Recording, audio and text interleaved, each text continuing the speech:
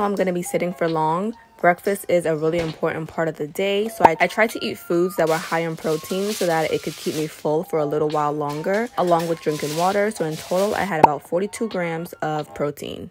And I didn't need to eat until I was done with my braids. Hey guys, good morning. So I'm gonna get some knotless braids because I've been talking about it, I want it, and I'm gonna really, really, really, really, really, really try to wear my hair in braids until December. Obviously redoing the redoing the whole like entire perimeter area every now and then when it gets old, but I just need to put my hair away. Like I've just been at a point where I just don't know what to do with it. And it's becoming annoying. So my hair is also like breaking a lot, like really, really, really bad. And I know it's because I've been overly, overly manipulating it, but that's because I feel like I don't know what to do with it. And at this point, I also don't care about breaking. But now I do because it's just starting to look a little nuts. So I, the, the I'm going to the African hair braiding shop. I haven't been to one in years. I usually go to my specific braider. But the reason why I'm not going to her is just because um, it's really last minute and I kind of just woke up and said I wanted it done by Friday and I didn't make an appointment. So yeah, my aunt also goes to these people and her hair always looks great. So I went there on Wednesday to just make sure that they could do it and they said they can. So I so I ordered the braiding hair. Um, as far as the human hair, I also have some extra braiding hair in case I don't have enough. I actually came to the beauty the beauty hair supply, beauty supply store, whatever. I actually came here because I don't know what kind of braiding hair they use, and I my scalp would be so itchy if I don't use the right kind. So I'm really nervous about that. So I just said, you know what, let's get the hair that my braider always uses and try to avoid the itchiness because I have a very sensitive scalp and I will take these braids out and I'm trying not to do that. So anyways, the sign is not open yet. It is 8:57 7 they open at 9 so hopefully i could run in there and shoot straight to the hair braiding shop. Won't do that. Anyways i don't know what time this was but i did have her like help me record and get some footage. And i also kind of wanted to like see what was going on and how it was looking. And so far i was highly impressed. Now i did have two braiders in my hair. Oh, by the way, this is the hair that I use. It is from Lugos Hair. It is 20 inches, semi wavy, and I only needed two bundles. We used a little less than half, a little more than half of the second bundle. This is the braiding hair that I used. Now, this is how each braid looked. Now I'm gonna break it down to you guys. For each braid, she basically added on two to three to four pieces of individual bohemian or human hair. And then at the end, she finished off with the human hair. My main concern in gold hair was I wanted to have as much hair out as possible. I cannot wear sew-ins these days, so for me, I wanted it to look like a sew-in, but also have the ease of having braids. So that's why it was very important that I had really good hair, and that's why it was important that I had a lot of hair left out. The entire point of this hairstyle was to stop at my real hair. So you can see my hair is short, it's damaged, it's all over the place. So it was kind of giving the look regardless. And then she also did alter it as well. So I didn't want all the braids to stop at one complete section. I wanted it to be kind of staggered. And then each braid is different, like I mentioned before. That is Prima and that is Laylee, I believe her name is. Um, yeah, they did a pretty good job. I would say the one in the front that was doing my hair, she does braid a little bit more tighter, but if you tell her like, hey, not tight, she will braid loose. The one in the back, love her, amazing. They're both were amazing and were just very accommodating. One started in the front, and as she did one braid, she would make me look at it and be like, Do you like this? And we would go over and inspect it, and then she would go to the next braid and the next braid. So they were just very just like trying to make sure that the style was executed and that I was just like in love with what was going to be the end result. Now, I did go to the shop two days ahead of time because I also wanted to just make sure that they could do the style.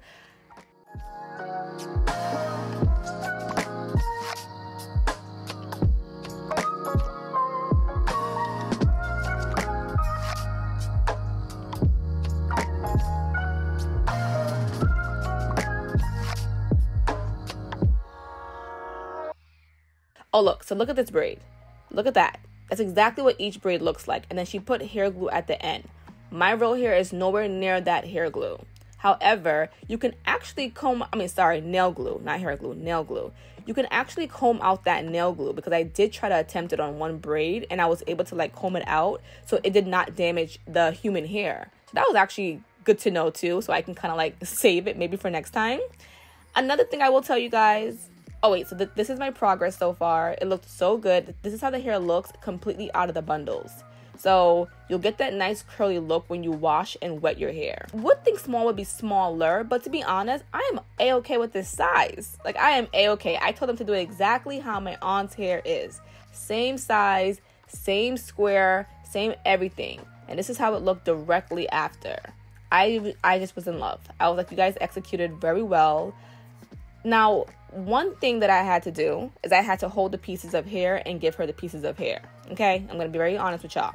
Now, usually I'd be like, ah, I don't really want to do that, but once she told me this is gonna make the thing go by faster, I said, sure.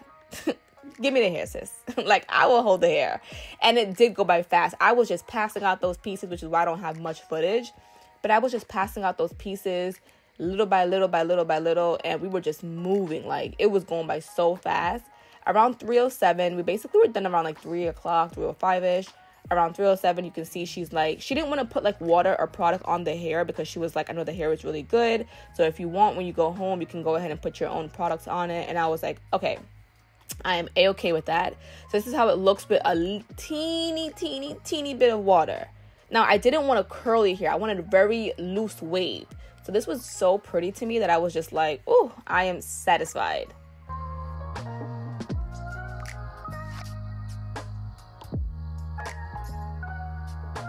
Now, this is me the next day, and I have this thing where I just have to wash my hair directly after the I get my hair braided or the next day. I'm telling you guys, it is a game changer. If your braids feel any bit of tight or just too close to the root, it will soften it up. It also makes the braid look softer. So at this point, I didn't wash it yet, but it makes the braid look softer. It just makes it look more lively and lived in. So yeah, but I wanted to show you guys how the braids look directly after like leaving the shop.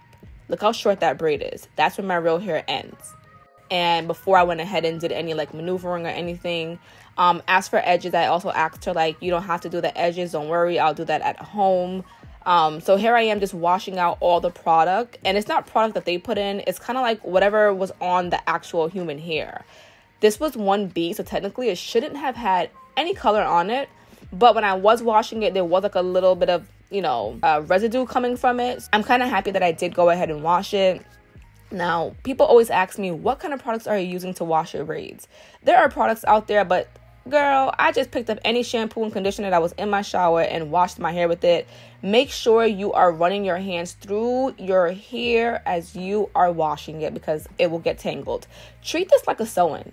I don't know why people keep saying their boho braids get tangled so bad or it's just such a knotty mess. And yes, it can get there, but if you're treating it like actual bundles and an actual sew-in or an actual wig, you would have to comb your hair, right? Whether you're washing it or not. So treat it the same exact way.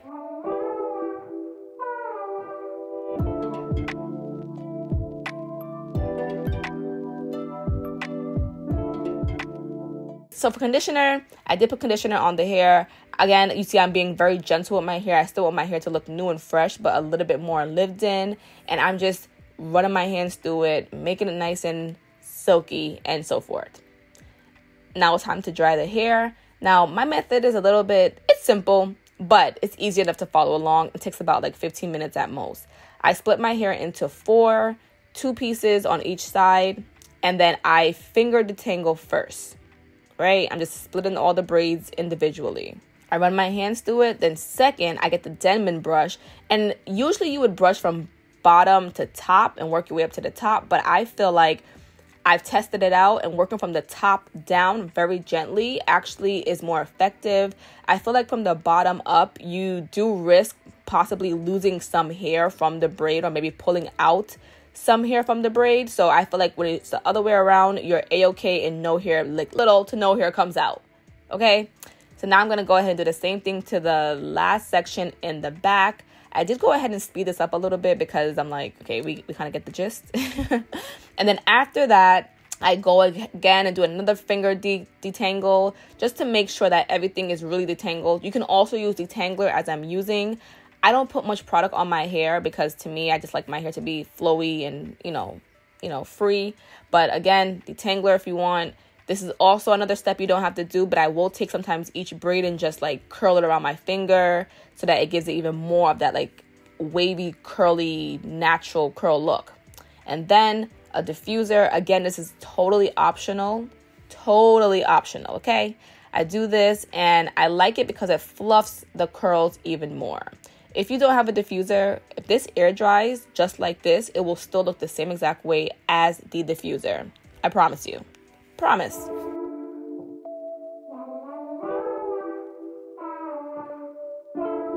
And then we go ahead and repeat all the steps from the left side onto the right side.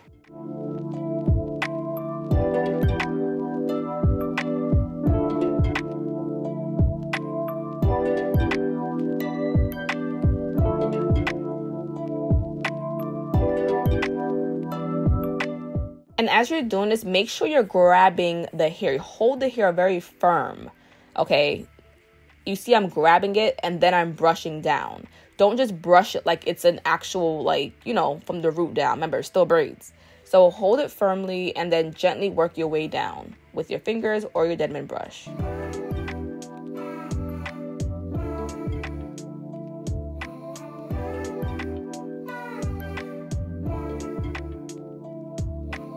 And again, like I was telling you, you can diffuse or you can scrunch. Diffuse or scrunch. Either way, you're going to get that end result because the hair is just naturally like this. So it's just totally a personal decision and what tools you have around you. If I go on vacation with this hair, I will not have a diffuser, so scrunching will be my only best option. I would actually scrunch with a t-shirt or a towel. I even put my hair upside down just for more like, you know, a more like fluffier look, but this is my end result. And I was just was like, I was in love. The hair was still a tad bit damp, but when it dried, it was just so pretty. And even just now, it just looks so nice. It smells so good compared to how I left the shop. Like, washing your hair just does so much of a difference. And I always tell people that. I'm like, please wash your braids after. Then I use um, Got2b Glued and a blow dryer to do my edges. This is the only way my edges will actually stay in place. The only way. Other than that, they are very unruly and will do their own thing. So I just get a little bit of edge control I make sure it's very tacky. And then I get an edge control brush and then I hold it in place and then blow dry it. And this will stay for a couple of days. I am a sweater. So I do sweat and this does stay. And it's not so greasy, so it's not clogging my pores or creating any pimples around my hairline. I'm very sensitive around there, but at this point, I was very, very, very satisfied with my hair. And I think I was getting ready to leave this day, if I'm not mistaken, but um, love it. I just love it. Look how pretty this is. My Pinterest board, my Pinterest hairstyle inspo came out exactly what I imagined. Super in love and super satisfied. Please check them out. They are honestly amazing and I will be I will be going back to them for my braids. All right guys, we're going to Pilates today on this beautiful Saturday. Um, I am gonna try to see if I can get some food really quick because I didn't get to eat and I gotta be there in less than an hour. So if I could eat within 10 minutes. You know, you really shouldn't eat before Pilates because, you know, certain moves make you want to like kind of puke. I don't know. I was kind of thinking like maybe I should just have a smoothie because I don't want to puke doing certain moves and I'm taking my favorite instructor. She's a little, she's a little intense and I don't want to be puking or feeling sick. So, and I already have like, you know, my period. So I'm gonna just tread lightly, but yeah, I'm going downstairs. Come on.